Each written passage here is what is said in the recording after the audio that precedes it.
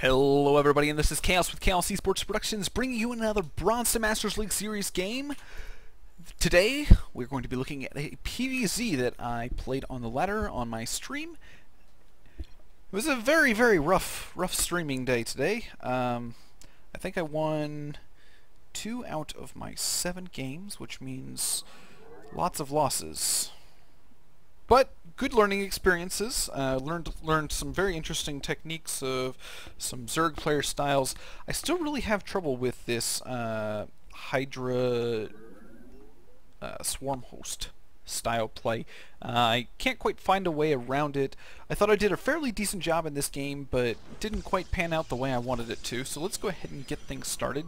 Um, we're going to open up with a pylon on Nime. We're going to speed it up just a little bit. I think I'm finally getting the hang of all these wonderful hotkeys, and I hope you guys enjoyed the new interface. Uh, I was looking around and I found this really cool interface, and I really like it. I really wish over here on the left-hand side you could kind of get rid of the all that junk, because uh, it kind of takes up a lot of the that portion of the screen. But anyways, going to be going with a 13 gateway, 14 gas, scout on. Um, scout after the gateway, do a little bit of miss micro here. Uh, I really want to just get to the point where we are looking at kind of the army composition and how it, what could have changed to make things better. I think overall mechanically this game is played very well. Um, this same build style that we've been playing with PVZ, kind of the early expand, Naniwa, gateway expand. Um, Unfortunately, we let our zealot, finish and aren't able to get our um, Nexus out quite as fast as we would like to. Um, we're going to be scouting our opponent's base. We see that the pool is done, so we're going to come back and get our mothership core ASAP. Going to be also putting down that Nexus as quickly as possible. Now, in this game, the mothership core was significantly later than it should have been, uh, so we do have a little bit of an issue with that. Going to be chrono boosting, or, oh, now the mothership core will start. Uh, let's go ahead and get the production tabs up, just, just to keep tabs on everything.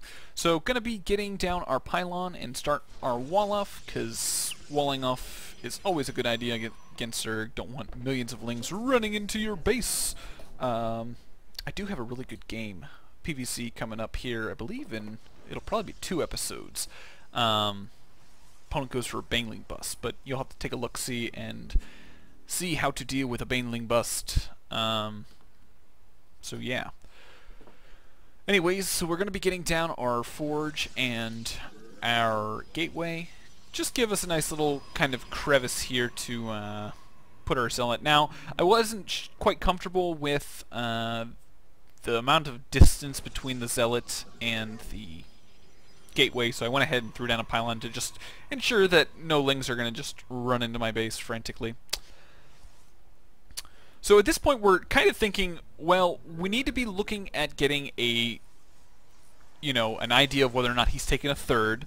Um, so we, we definitely want to be looking to scout fairly soon. So we get down, all of our gateways are going to do a little bit of four gate pressure and it actually doesn't quite work out for me because he gets like a million and one lings really early as a function of seeing me move out with my zealot and mothership core. So we kind of move around, just kind of get an idea of whether or not there are any lings just chilling by, and then move, push out, and what do we find? We find just a handful of speedlings, just kind of chilling out down here. Send our mothership core to harass a little bit, they run away, no big deal. Warp gate is done, so we're going to be warping in some zealots, and a couple sentries got warped in.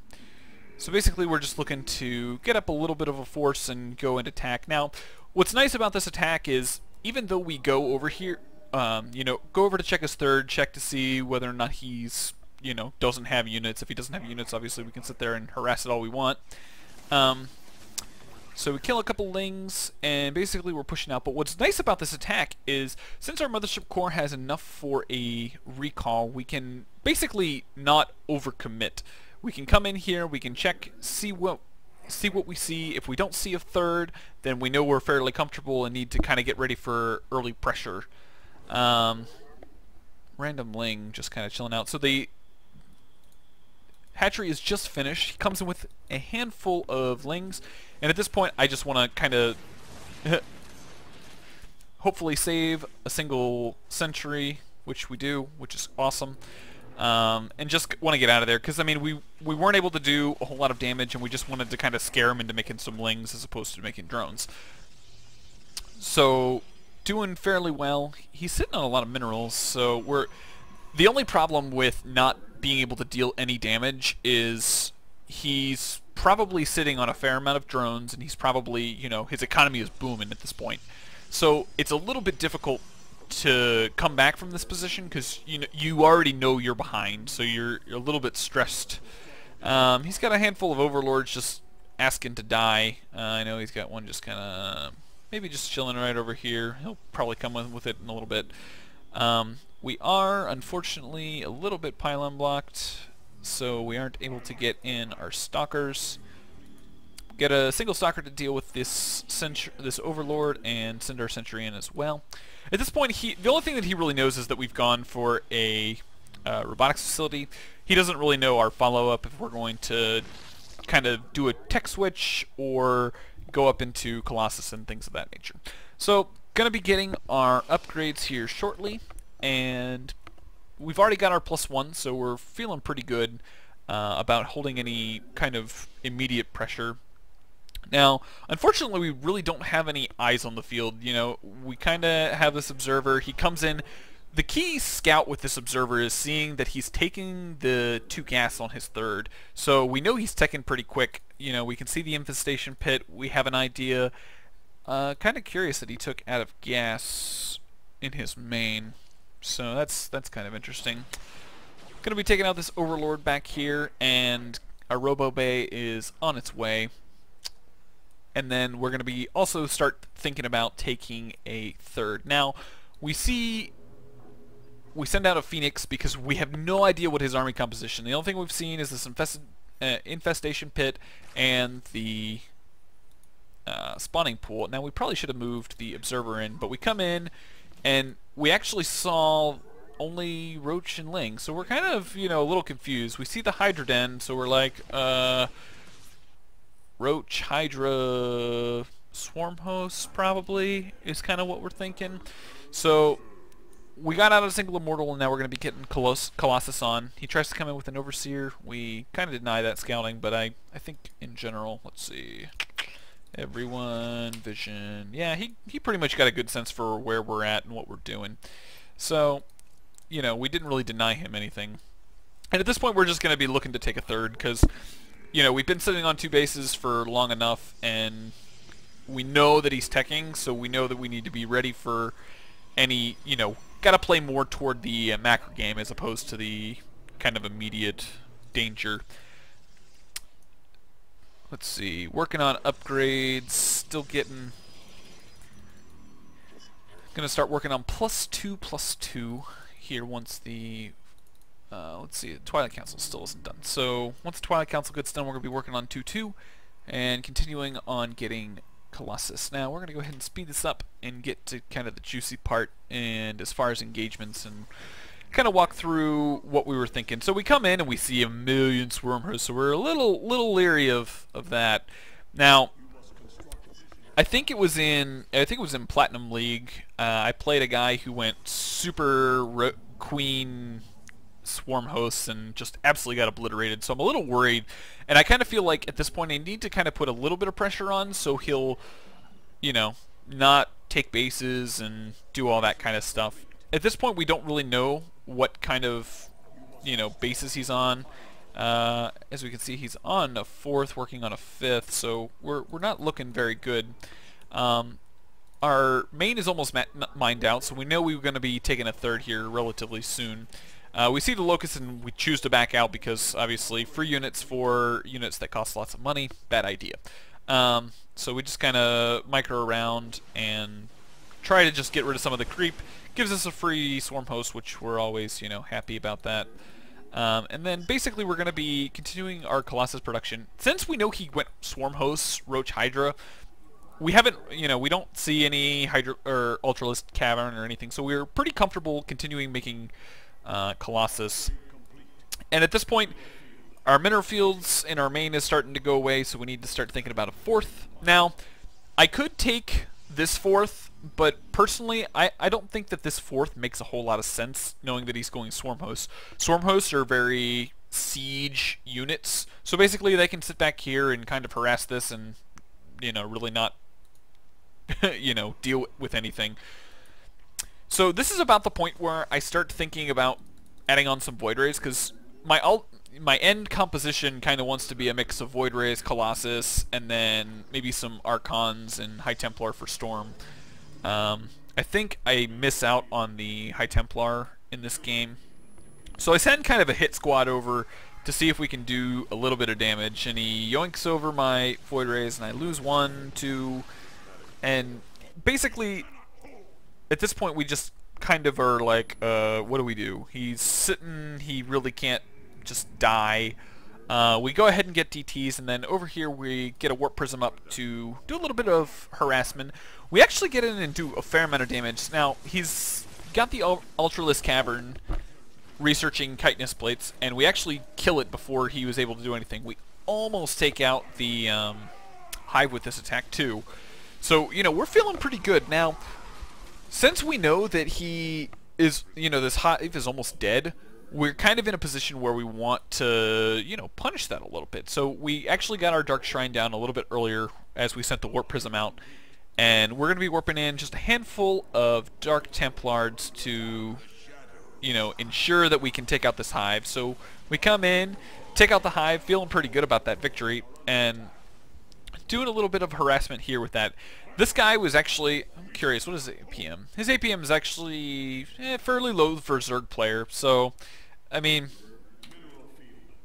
he's he's not very good at multitasking, so I'm trying to exploit that fact. So, come in with some DTs, pretty much take out a, a significant number of drones, and I actually see a Nydus Swarm. I don't think he ever used it. So I think I overextended. Now, I'm going to back up a little bit with that, um, and just kind of show you what happened. Okay, so we're going to hit play, and then so while so while we're doing this harassment down here, we are pushing in at the front because we want to see if we can see his swarm host. If we can, if he's overextended with his swarm host, we can take them out really easily, and pretty much give us put us in a really good position to just kind of overwhelm him. Um, upgrade wise, we're doing pretty good. We're working on uh, three, three, one right now.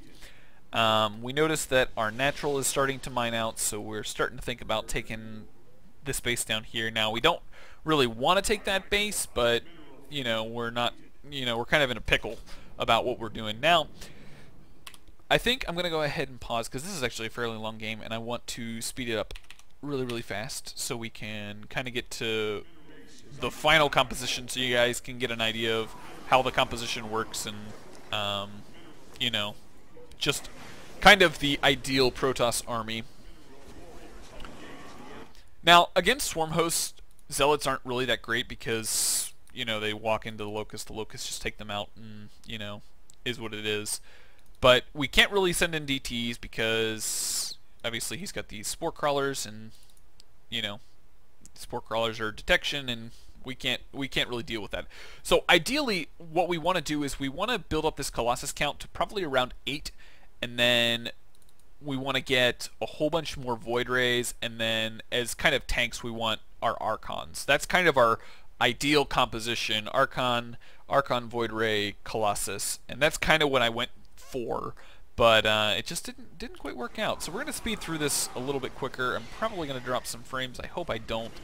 Um, and, I mean, at this point, we just kind of are, we're in a position where we can't directly attack our opponent, and all we can do is sit back and defend. Um, I tried to do a little bit more of harassment with the Warp Prism. I think I built a Warp Prism here sooner or later. Um, but it really doesn't work out that well. Um, try to go in with some DTs, do a fair amount of damage, but, you know, he's just dwindling down my numbers, and my minerals are more or less running out, and I can't do anything about it. Now, one mistake that he does make here in a little bit, um, he started to get he's I'm gonna pause it and yeah. Um, yeah, he comes in over here with a whole bunch of Hydralisk and Hydra, or yeah, Hydralisk and Ultralisk, my bad. Um, and he loses actually a fair amount of it because I mean, as you can see, my supply is actually a lot of uh, you know a lot more ahead of his. Wow, I said that awfully. Um, as far as larva goes, he's only got 28 larva. So had we had we probably kept this up, we might we might have actually been able to win this. Uh, but the swarm hosts are just kind of what would win it for him. So basically, we kind of overextend here a little bit in a sec. We kind of, we basically walk into his swarm host, and his Ultralisk get a huge surround, and, you know, at that point we don't have any money, and it's game. Um, so yeah, so basically what this game boiled down to was a couple different things. The early to mid game was played fairly well. We recognized what our opponent was doing. We tried to get up a composition that worked out, you know, that would work well. But obviously we just went, weren't able to execute. Um, this guy was a diamond level player, so I, you know, I don't feel too bad for playing. I haven't played a whole bunch of ranked games this season for some. I just haven't had a whole lot of time, and you know, when you don't play StarCraft for like five or six days, you just want to like play some unranked matches to get yourself in the in the the spirit of playing. Um, so yeah, so I hope you guys enjoyed this, and you know, feel free to leave comments and if you guys have a better composition that you know might work better against dealing with this type of play, uh, feel free to leave comments in this you know section below. I do read those, and I do appreciate people who contribute. Uh, you know, I like seeing other ideas and like trying out new techniques on the ladder. So feel free to leave your comments below. Uh, also, if you enjoyed this video, feel free to like. Um, and if you're new to the channel, welcome. Uh, I hope you enjoyed the overall tutorial of just kind of how the how the game has been changing as far as getting from bronze to masters. Um, so yeah. Anyways, I hope you guys enjoyed. Feel free, if you would like, I would I do have an email address in the description where you can send your replays and I will cast them, give you some tips, let you know how you're doing. Um, I do like look at other races and kind of get a feel for how they play. So feel free to, if you're not a Protoss player, feel free to send me those replays. I will be sure to get them out. Also, if you, obviously I'm getting closer and closer to Masters, and now that we're in Diamond, I feel confident saying that soon, hopefully soon, next season, I will be transitioning into doing another race. So I need some opinions on what my next race will be. Uh, will it be Zerg? Will it be Terran? Um, feel free to leave your comment in the comment section below. Personally, I think I would rather try and play Zerg over Terran, just because I have more friends who are Zerg players than Terran players. But uh, I will let you guys decide, because you are my viewers, and I want to give you content that you want to see. So, I hope you guys enjoyed, and I will see you guys in the next game.